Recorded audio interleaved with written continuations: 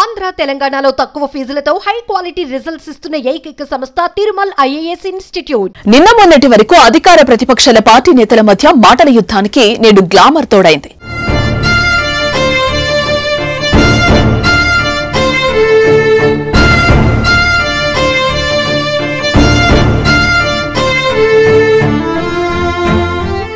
నటి సమంత నాగ చైతన్య విడాకులపై తెలంగాణ మంత్రి కొండా సురేఖ చేసిన వ్యాఖ్యలు చిలికి చిలికి గాలి దుమారంలా మారాయి.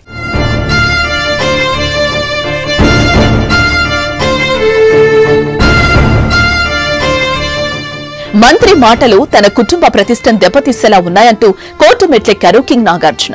టాలీవుడ్ అగ్ర హీరో అక్కినేని నాగార్జున కుటుంబాన్ని నాగ చైతన్య సమంత వ్యక్తిగత విచారణను ప్రస్తావిస్తూ మంత్రి కొండా సురేఖ చేసిన వ్యాఖ్యలు తెలుగు రాష్ట్రాల్లో తీవ్ర దుమారాన్ని రేపుతున్న సంగతి తెలిసిందే. ఇప్పటికే కొండ సురేఖపై టాలీవుడ్ సినీ ప్రముఖులు మండిపడుతున్నారు. తమ రాజకీయాల కోసం సినీ తరలపై నిరాధారమైన ఆరోపణలు చేయటం మానేయాలంటూ సోషల్ మీడియా వేదికగా సీరియస్ అవుతున్నారు. ఈ క్రమంలోనే నాంపల్లి కోర్టును ఆశ్రయించారు నాగార్జున.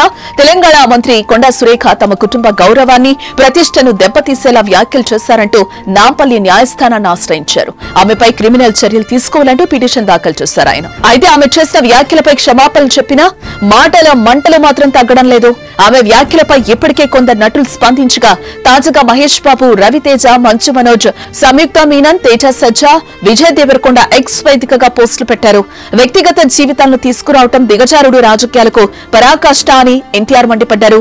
ఆధారాలు లేని ఇలాంటి వ్యాఖ్యలు చేస్తే మౌనంగా చూస్తూ కూర్చోబోమని హెచ్చరించారు.